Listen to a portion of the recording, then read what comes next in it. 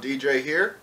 Today I'm going to talk about how to get certain critical documents from your records in order to you know, take advantage of some either government or locally uh, privately owned organization benefits for which you might be eligible.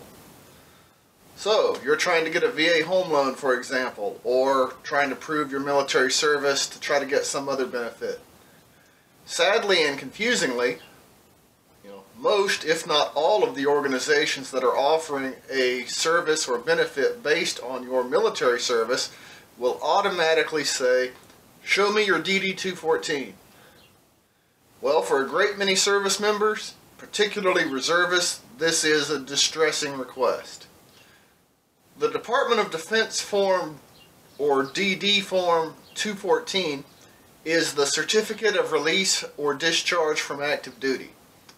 It is, or should be, issued whenever a service member completes a tour of active duty of 90 days or more.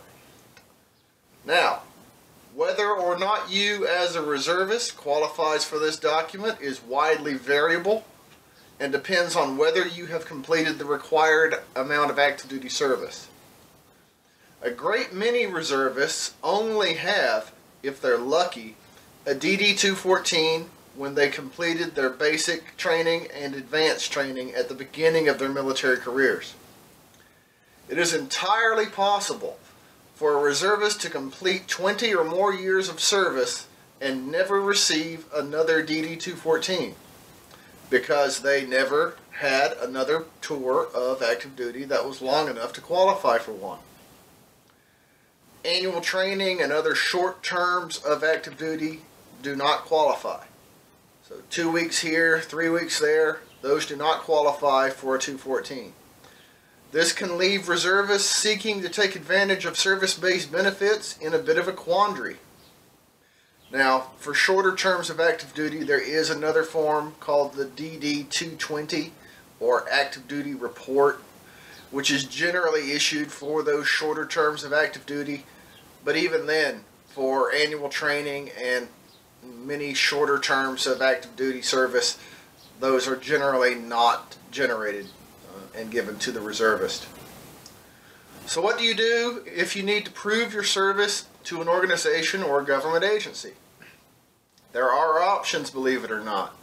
If you are a currently serving reservist, you can find other documents in your electronic personnel record, and every service has one. Now it varies on how easily they can be accessed, but every service has one. The most useful document you can find generally is your retirement point statement. Why? Because this statement shows, or should show, your entire military career and how many points you earned during those during each year of service and showing that you were an active participant. If you are an enlisted member, you can also find the DD Form 4, which is the enlistment or reenlistment document. If you're an officer, you can find your appointment as a commissioned or warrant officer. Some organizations, particularly civilian agencies, may not understand what these documents are.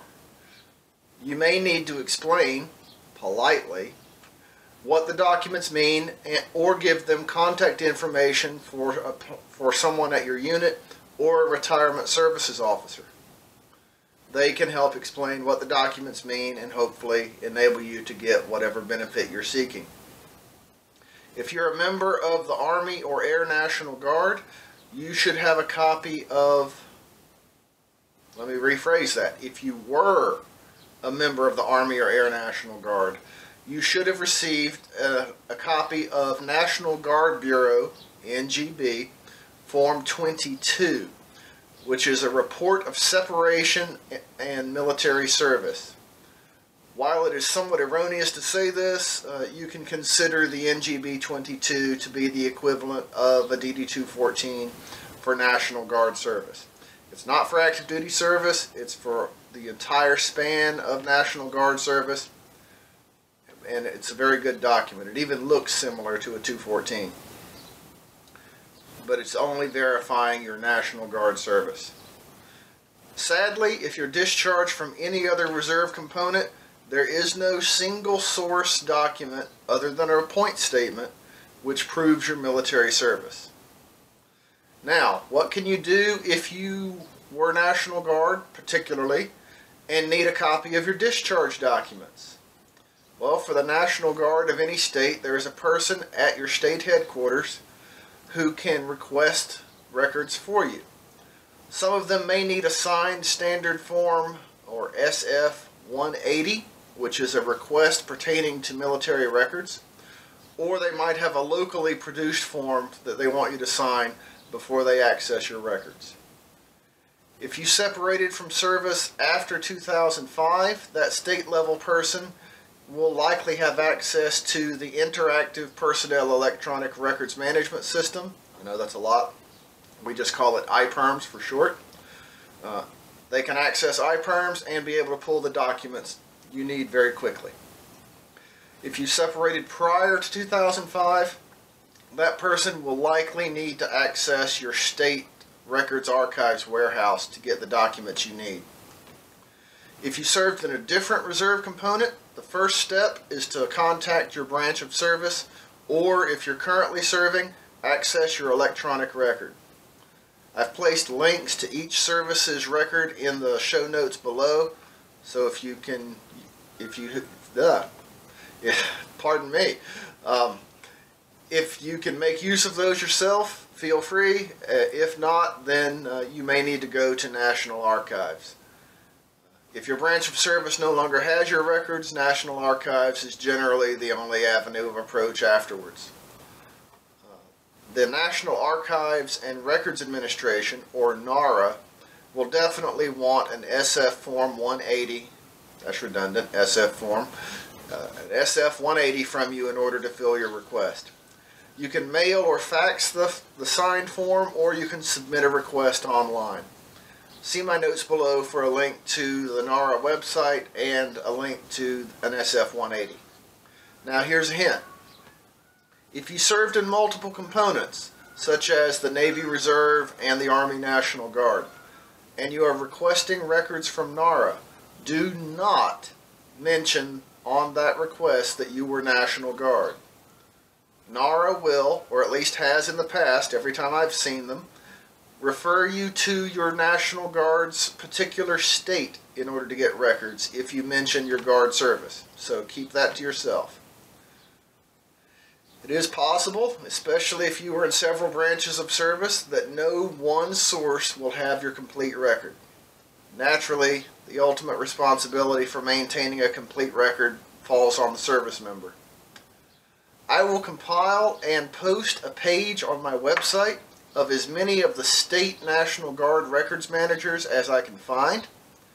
Uh, building this complete list will take me a little time, so please check back if you don't see your state listed.